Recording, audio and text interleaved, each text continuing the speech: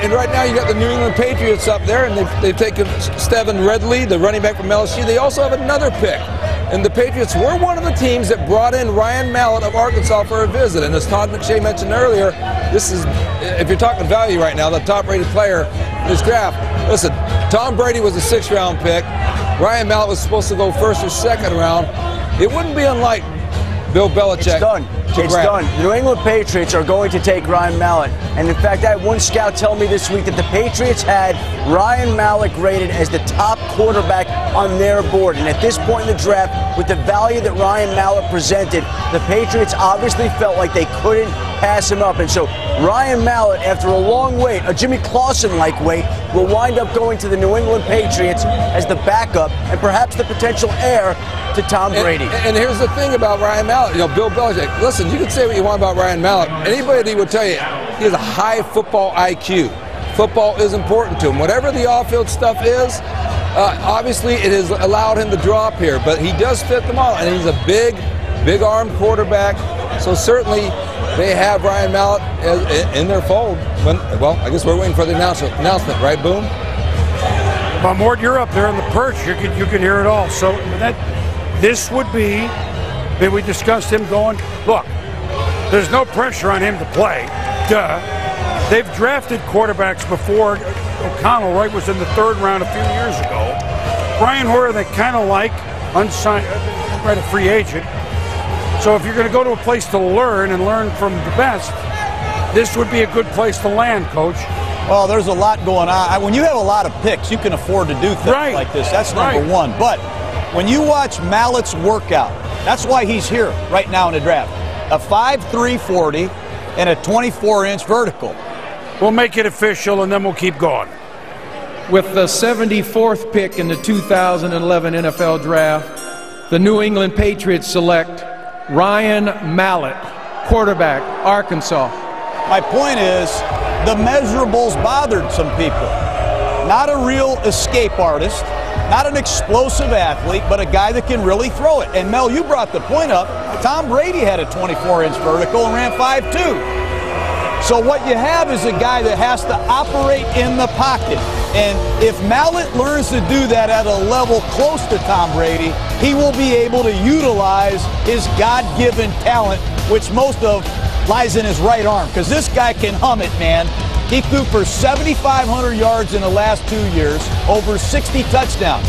What I like about this guy the most is where he comes from. Bob Petrino coaches his quarterbacks hard. I used to kind of take pride in that, Todd McShay. He yells at him, he's tough on him, he gives them audibles and check with me's. I've seen him underneath the center in the shotgun. For this kid to have the opportunity to play for Bill Belichick and watch Tom Brady on a daily basis, it's the best thing that ever happened to Ryan Mallett. I don't care if he's the first pick in the draft. I'd rather be in the position he's in right now. Agreed. Good for him. We talked about him all year. Ryan Mallett in that pocket, he maneuvers fairly well for a kid his size. He gets out of the pocket, sloppy mechanics. I think he's a long strider. He needs protection. Some of his best throws were with maximum protection. A lot of time in that pocket. The meltdowns at the end of games, those throws. I always say it. It's that what was you thinking? What was that throw? And Bobby Petrino will be over there saying, "What was that, Ryan?" And that's something you got to eliminate. But he's going to have time to evolve. Watch Tom Brady, the great manipulator of the pocket with that 5'2", 440. Here's a kid with a 5'3", 40, 24 vertical for both of them. Similar characteristics coming in, Todd. On the field, the biggest weakness that I saw was the fact that when teams could pressure him, especially up the middle, and force him to move his feet and reset his feet, that's when he got into trouble. And I think if, if he's going to be great in the NFL, he's got to learn to deal with pressure, to pick things up quick, and to understand the game better than most because he doesn't have the foot quickness to get out of the way and he doesn't to reset his feet. Tom Brady is going to be a great help here, and that organization should be a great help. If he can't succeed here, Ryan Mallett will not succeed anywhere in the NFL. Yeah, and you know, the only thing I, I think that Mallett has been knocked for is his inability to knock out the big teams. They had Alabama on the ropes, and he forces an interception at the end of the first half. Then, with a four point lead, late down the middle, misses a throw another interception. And then in a two minute drill, he's trying to throw the ball away. Just some better decisions in key situations in big games. He's had some poor decisions with interceptions, and a lot of these, I tell you what, are blown out of proportion because this guy can throw it. I'd love to take this guy on right here. He's a good kid. I spent a couple days with him, and when you see him throw the ball live, you can see why New England made this pick. It's impressive. Well, he's off the radar. Tom Brady, this is his team. Oh, yeah. Ryan Mallett's not going to be heard from for a while. He'll be in the preseason games. You got Brian Hoyer. It's a great situation. This is the old days. This is the way you should develop a quarterback. point, Mel. Green Bay did it with Aaron Rodgers. Was Brett Favre was there. It was year four before Aaron Rodgers started the game in the National Football League. Ryan Mallett's going to be in a similar scenario. This is back. This is old school. This is 60s, 70s, and 80s quarterback development.